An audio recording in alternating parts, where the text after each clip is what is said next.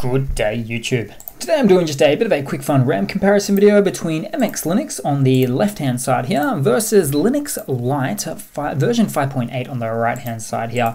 So without further ado, I'll load up a terminal and I'll use a nice lightweight system monitor tool named HTOP there. And on the left hand side, we can see we're running at about 500 megabytes of RAM on boot up for MX Linux 21, whereas Linux Lite is running at uh, 507 megabytes of RAM. So it's not quite living up to its name here, is it? Uh, L-I-T-E. It's even really quite spelt like there.